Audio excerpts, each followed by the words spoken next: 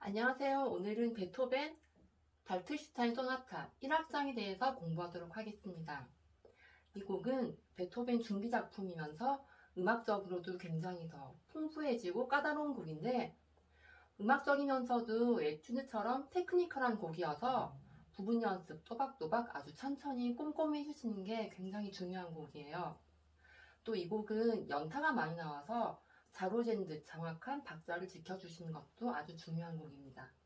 그리고 베토벤 특유의 다이나믹, 갑자기 커진다든가 갑자기 작아지는 그런 dynamic이 이 곡에서도 많이 나오는데 어, 다이나믹, 특히 포르테와 피아노 대조를 잘 해주시는 것도 굉장히 중요한 곡이에요. 우선 첫 부분 보시면요.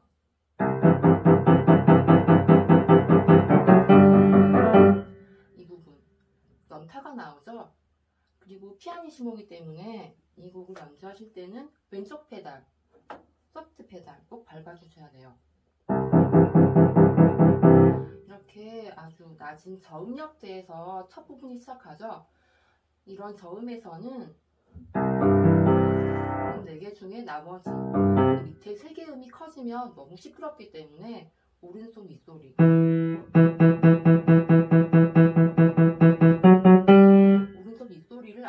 들리게 해주셔야 되거든요. 그래서 연습을 하실 때도 윗소리만 따로 떼서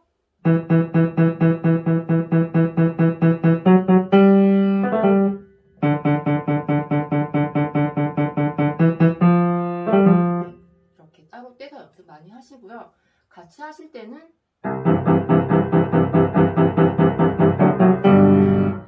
어, 주의하실 거는 스타카토가 아니기 때문에 이렇게 끊으시면 안 되고 손을 건반에 밀착을 시켜서 떼지 않고 그대로 누르시는 거예요.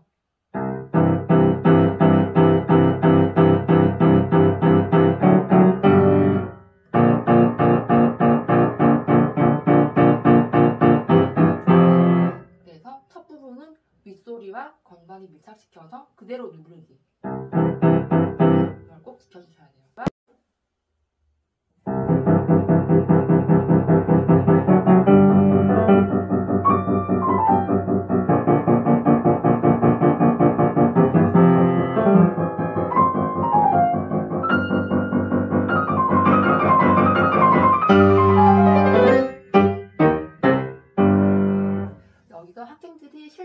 하는 부분이 11번째 마디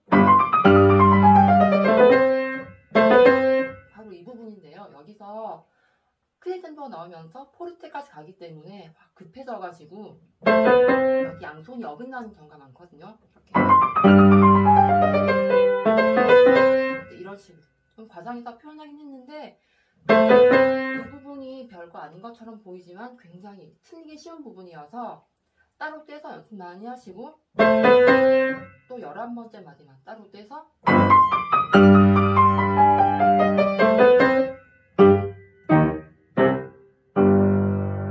이런 부분 연습 많이 해주셔야 돼요. 다음 14번째 마디 보시면 역시 계속 소프트 페달 누르시고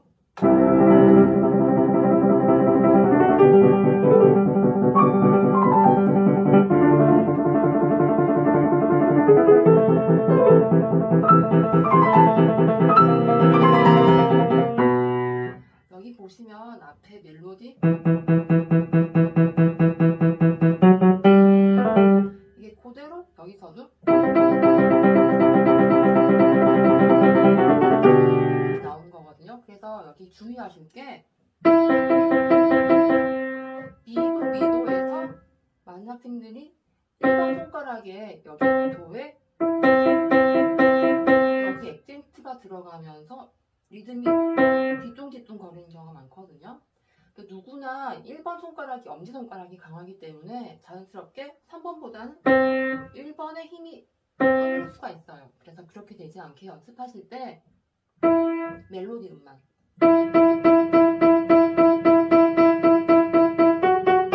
앞에서 했던 것처럼 이 연습을 많이 해주셔야 돼요.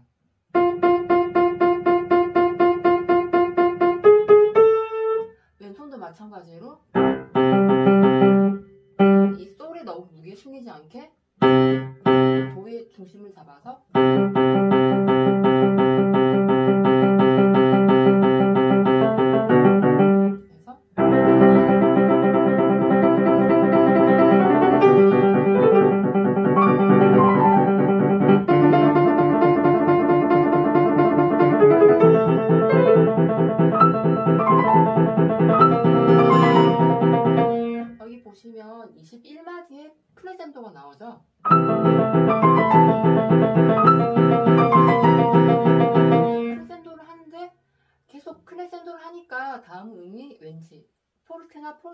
정도 나올 것 같은데 베토벤은 우리의 예상을 뒤엎고 갑자기 피아노가 나오는 거예요. 또 멜로디까지 달라지면서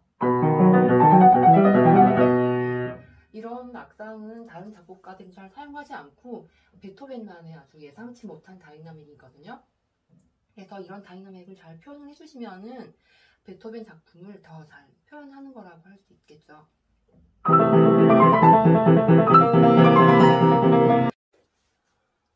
2 3마디부터는 오른손이 특히 어렵죠. 손이 꼬이기가 쉽고 막 실수 많이 할 것 같은 부분이어서 여기는 정말 연습밖에 없어요.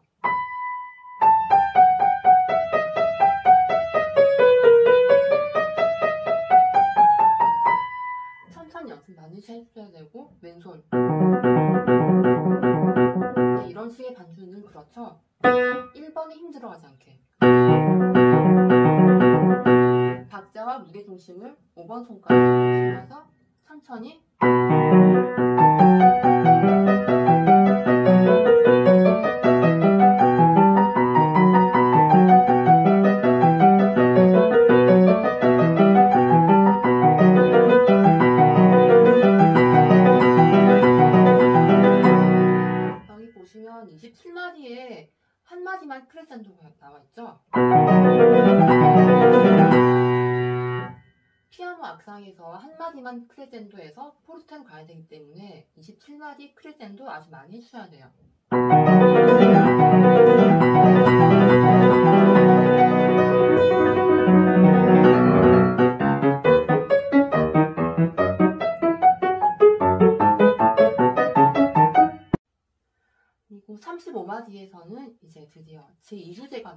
하는데 여기서도 핵심은 윗소리예요.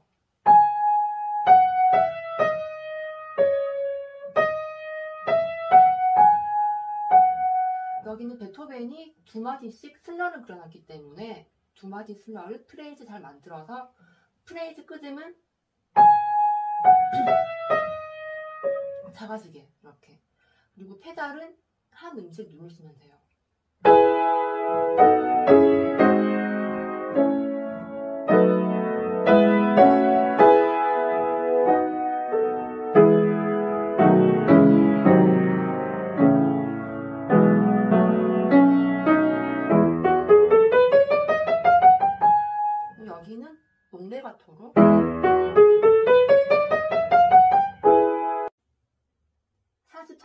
부터는 왼손이 주제가 되거든요. 그래서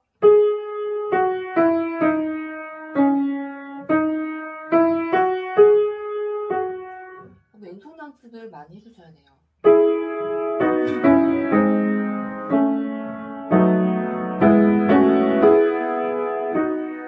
베토벤이 43마디에 돌체라고 떠났죠. 부드럽게. 그래서 오른손을 너무 필요 없이 돌체 부드럽게. 그래서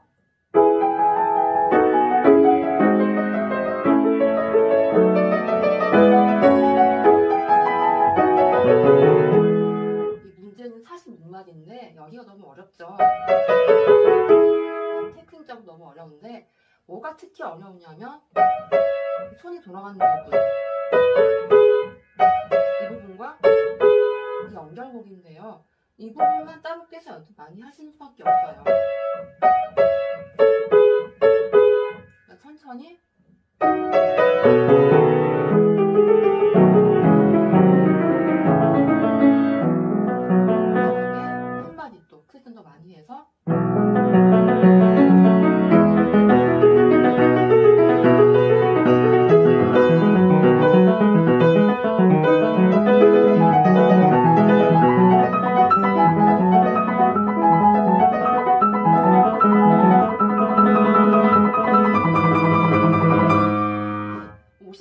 보시면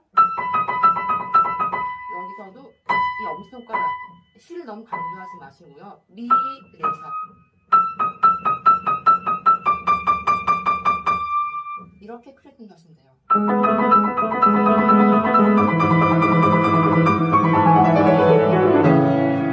그리고 62마디. 이 62마디부터 빨라져가지고 틀린 악단들이 많거든요.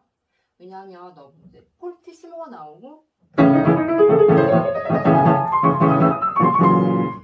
크레센저로 막 달려온 부분이기 때문에 너무 빨라지고 틀린 경우가 많은데 이럴 때는 왼손이 중심을 잡아주셔야 돼요.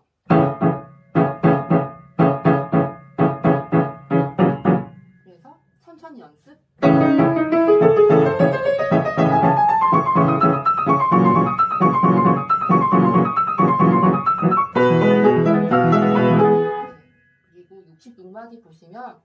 오른손에 스포르잔도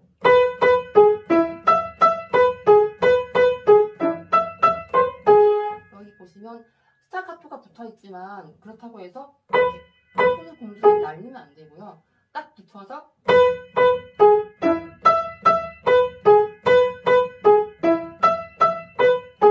그리고 스포르잔도가 이 첫음만 나와 있지만 나머지 음들도 악상 폴티시노예요. 더 다 크게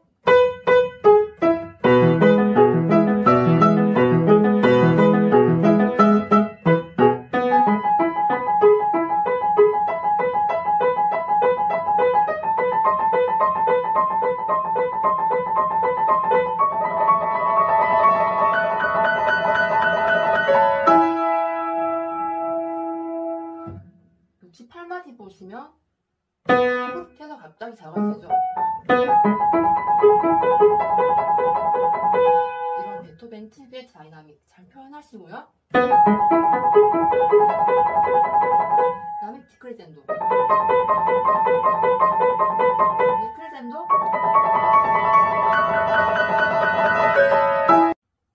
칠십사 마디부터 보시면 여기 왼손이 왼손에만 슬러가 붙어 있죠. 그래서 왼손을 음악적으로 표현하고 오른손은 슬러가 없기 때문에 너무 오른손을 막 이렇게, 이렇게 만들기보다는 그냥 예투지 연습하듯이 작은 다이나믹에서 또박또박 오른손 치시면 돼요.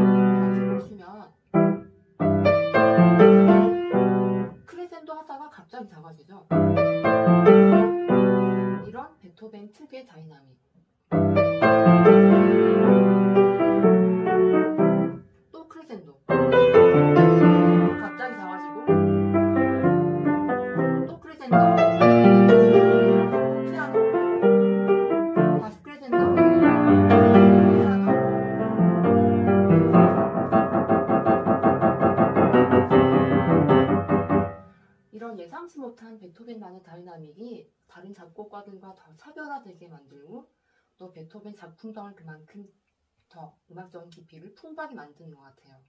그래서 이런 다이나믹, 특히 베토벤이 표기한 dynamic을 잘 지켜주셔야 되고요. 또 이런 베토벤 소나타는 특히 악보에 충실하면서 기본기에 충실한 연주가 더 무엇보다 중요하거든요. 다음에 96마디를 보시면 왼손은 앞에서 했던 것처럼 엄지 너무 강하지 않게 문제는 오른손인데요. 학생들이 이 끝에 스타카토가 붙어 있어서 조금 날려버리거든요. 그런데 스타카토의 뜻이 그 음 길이의 2분의 1만큼 눌러주라는 뜻이기 때문에 지금 보시면 이 4분음표에 스타카토가 붙으면 8분음표 길이만큼 눌러주셔야 돼요. 자, 이렇게 날리지 않고 눌러주시는 거.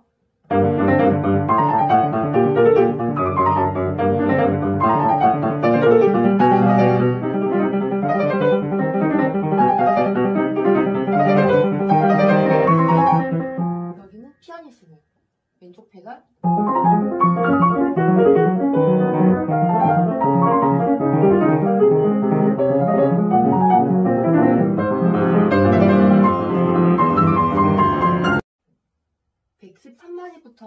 베토벤이 한 마디 또는 두 마디 단위로 슬러를 그려놨죠. 그래서 이 슬러를 단위로 프레이징을 만들어서 프레이징 사이에는 약간의 여유를 두면 음악이 더 세련되게 들릴 수가 있어요.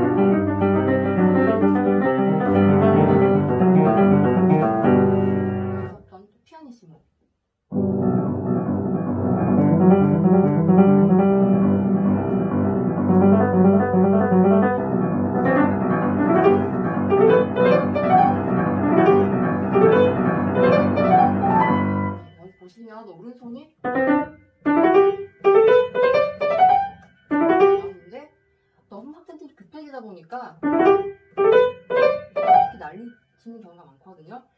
근데 이 세집다는 표를 날리시면 안 되고 정확히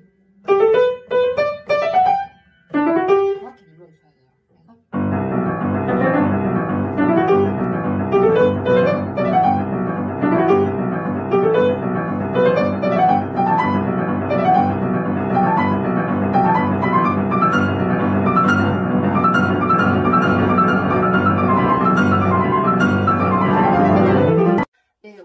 이렇게 베토벤 발트슈타인 소나타 1악장에 대해서 알아봤는데요. 이 곡이 작곡된 시대가 피아노라는 악기가 많이 발전된 시기이기 때문에 초기 작품에 비해서 음악적으로도 더 풍부해지고 음역대도 넓어지기 때문에 또 음악적인 면이나 테크닉적인 면이 더 표현할 게 많아지고 어려워지고 까다로워지거든요. 또 입시곡으로 시험곡으로 이 곡을 굉장히 많이들 연주하시는데 기본기에 충실하시고 악보에 충실하셔서 천천히 또박또박 연습 많이 하시고 또 연주하시는 분들 모두 좋은 결과 있으시길 바- 바라겠습니다. 시청해주셔서